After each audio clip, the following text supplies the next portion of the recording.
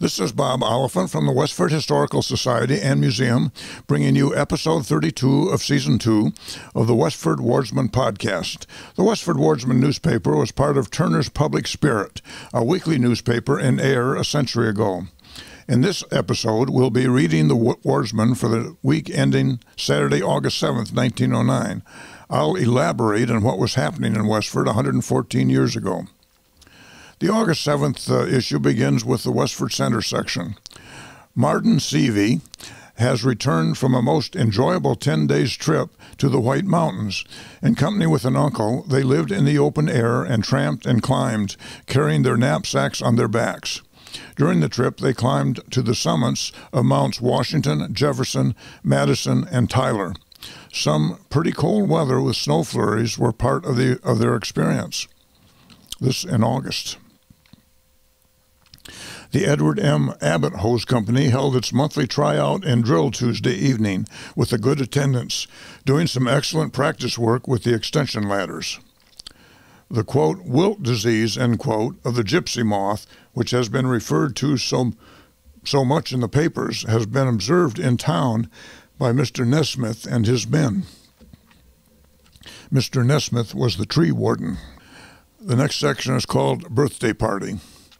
Mrs. Florence G. Isles gave one of the pleasantest of birthday parties for her daughter, Hilda, th- Thursday evening of last week.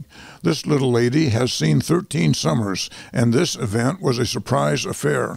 Her schoolmates and friends who were invited gathered at the home of Marjorie Seavey nearby and marched two by two to their friend's home, making a pleasant picture in their pretty summer frocks. Not until they appeared did Hilda know of the event. The guests brought many pretty gifts to their young hostess. Supper was served, the chief ornament of the long flower trimmed table being the big birthday cake with its lighted candles. The time honored custom of the ring and thimble, and each guest blowing out a candle with a wish, were duly observed. Ice cream, cakes, candies, and many other good things were served. After supper, games, music, and dancing were enjoyed, and the evening's pleasure came to an end all too soon when the young people took their departure, sincerely wishing their young hostess many happy returns of the day. The uh, custom of the ring and thimble that's mentioned here uh, is, is interesting. In this custom, a ring and a thimble were wrapped separately in wax paper and placed in the cake in the cake batter. When the cake was uh, baked and then served, the person receiving the ring was supposed to be the next to marry, and the person receiving the thimble was supposed to become an excellent seamstress. Sometimes a penny and a dime were also wrapped and baked in the cake. Whoever got the penny would be poor, while the dime meant riches. I, th- I think I can see why they didn't do that one quite as often, I think. Uh, the next section is called Bitten, B I T T E N.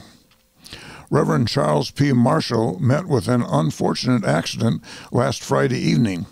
With his next door neighbor, Mr. Prescott, he has been in the chicken business, and they were much interested in their enterprise, even if it was not on an extensive scale.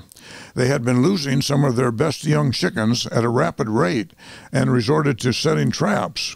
One of Mrs. George Day's cats got caught in the, in the trap, but got away, dragging the trap after it. After a good deal of trouble, Mr. Marshall caught the cat, and in an attempt to release it from the trap, the animal, crazed with fright and pain, bit Mr. Marshall's hand quite badly. He went at once to Dr. Wells and had the wounds properly treated, and while they were pain, painful for a time, are much improved, and it is hoped no bad results will follow. I, I'm happy to report that Reverend Marshall did not contract rabies, as he's lived on for a number of other years. The next uh, section is called Family Outing. Mr. and Mrs. Albert A. Hildreth were host and hostess for a delightful gathering at their home on the Concord Road Thursday of last week. It was a real family party numbering about 14, consisting of Mrs. Hildreth's relatives and friends coming from her hometown of Andover and from Billerica and Tewksbury. Her father and mother, Mr. and Mrs. Bailey from Andover, her sister, Mrs. Troll, and little son and cousins, aunts, and friends made up the group. They came on one, on one of the morning cars and were met by the genial Bert with his big market wagon fitted with many seats. Uh, by cars, they mean the electric trolley cars. This and other conveyances transferred them the two miles to, the, to his home. The party was so large that dinner was in picnic style and was thoroughly enjoyed, as well as the merry sociability, the pleasant surroundings, and the good weather, which is always a contributing factor for an outing of this kind. At sundown, the merry party were conveyed back to the car and to their respective homes. Next section is entitled Wedding. At the Union Congregational Church Wednesday evening, at the close of a beautiful summer's day, occurred the marriage of Miss Edith Ann Cipher and Elmer Dennis Cole of Washington, D.C. Miss Cipher formerly lived in Westford, the family homestead being in the southerly part of the town, where she made her home until the death of her parents. She was a former member of the church that was the scene of Westford's e- of uh, Wednesday evenings nuptials, and for years sung in the choir and was always interested in its activities and best welfare. Immediately following the ceremony, the bridal party took their places in the church parlor, where a reception was held and received the felici- felicitations of the assembled company. Ice cream and cake and fruit punch were served in charge of caterer Fred, Fred A. Smith. Each guest received a dainty box of wedding cake. Mr. and Mrs. Cole were the recipients of numerous gifts consisting of silver, china, cut glass, linen, and sums of money. After a wedding trip, Mr. and Mrs. Cole will return to their home in Washington, where Mr. Cole is in the jewelry business. They take with them the many good wishes of friends here for a life of happiness and prosperity. Uh, this I've actually uh, cut out a reading of four paragraphs in this rather lengthy wedding announcement. The next section is the About Town section. Edward Gray, who has been employed on the farm of H.B. Reed for the past two years, has resigned his position and accepted his former position at the Chelmsford Foundry at North Chelmsford. He has secured a house and will move as soon as convenience will permit. Business at the foundry is brisk, and he received several urgent requests to resume his trade. Mr. Reed was fortunate in so competent a man, and Mr. Gray is so reasonable an employer. Andrew Johnson, Wesley O. Hawks, and son have gone to Salt Lake City to the GAR scenery. They attended the Grand Army of the Republic's 43rd National Encampment at Salt Lake City, held August 12th and 13th, 1909. The ball game last Saturday between Westford and Nashua was won by Nashua 5 to 3. Game today at Ayer between Westford and Shirley. The tree warden and assistants spent a day last week removing a large, overhanging, threatening elm limb that gave evidence of obstructing the electric cars, the sidewalk, and the highway. It hung out its sign at old Captain Pelatiah Fletcher's place. That's the house, the old uh, colonial house at 54 Lowell Road, now owned by CRP Decatur. The next section is called Reunion. The second annual reunion of the Spalding Light Cavalry Association will be held at Nabnasset Lake August 12th. All sorts of business and pleasure compatible with the basis of the association will be evolved, as well as eating, which will be involved. Next paragraph is titled School Sunday School Excursion.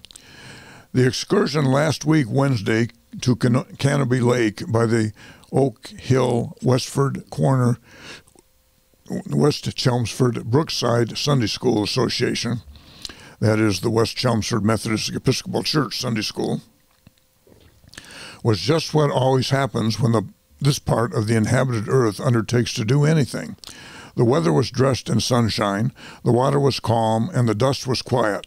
Sports for the wealth of your health were tossed around with pleasure, and in this way the day's most keenly applied treasure. Just 82 persons, young, old, tall, small, short, great, and straight, boarded the electrics and took in the lake. A little more poetry from Samuel Taylor.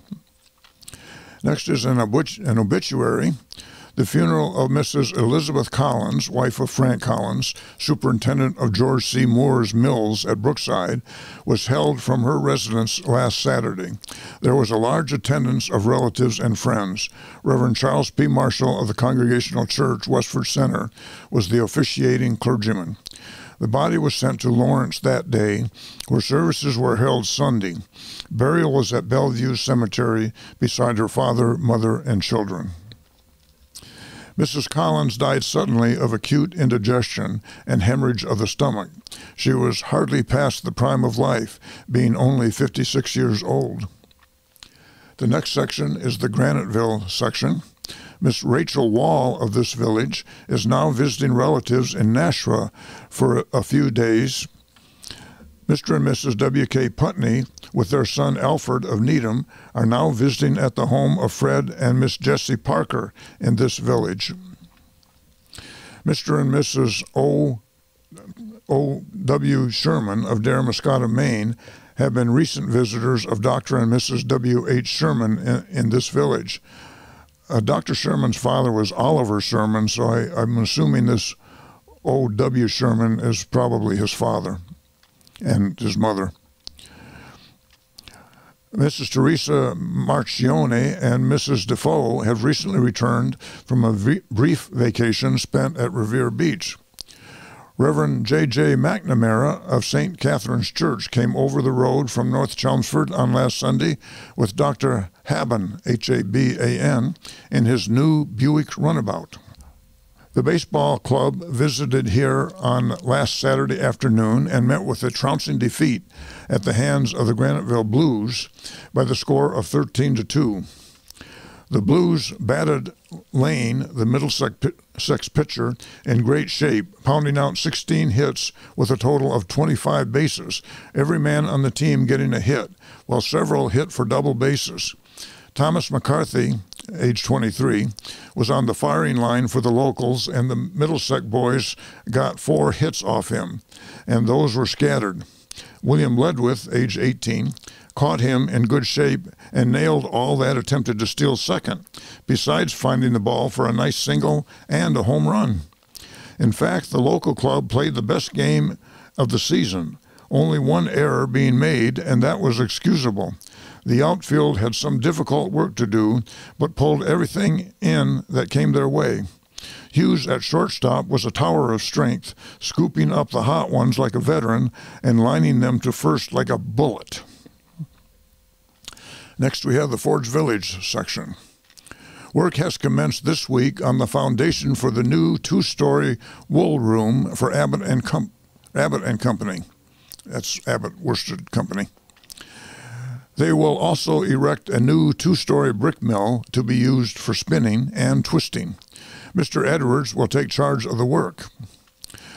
The Forge Village Lions added another game to their long list when they defeated the Brookside team last Saturday afternoon at Nabnasset Grove. Reverend Mr. Roberts conducted the services at St. Andrew's Mission last Sunday evening, and there was a good sized attendance. Mr. and Mrs. George Jackson are still enjoying their vacation in Maine. Mrs. James Libby and niece, Miss Verna Shaw of Easton, Maine, are the guests of Mr. and Mrs. W. E. Parsons. There is as much enthusiasm as ever in the summer cottages of Forge Lake. It's not usually called Lake, but it is here. Every cottage is occupied, and more would come if there were only cottages enough. And that's the news in Westford for the week ending August 7th, 1909. Thank you for listening, and thanks to Nick Woodbury of Westford CAT for providing technical support. You can find transcriptions and podcasts from the Wardsman at our website at museum.westford.org or visit the Historical Society's Facebook page for more Westford news from a century ago. This is Bob Oliphant, and I hope that you will join us for next week's Westford Wardsman podcast. Thank you.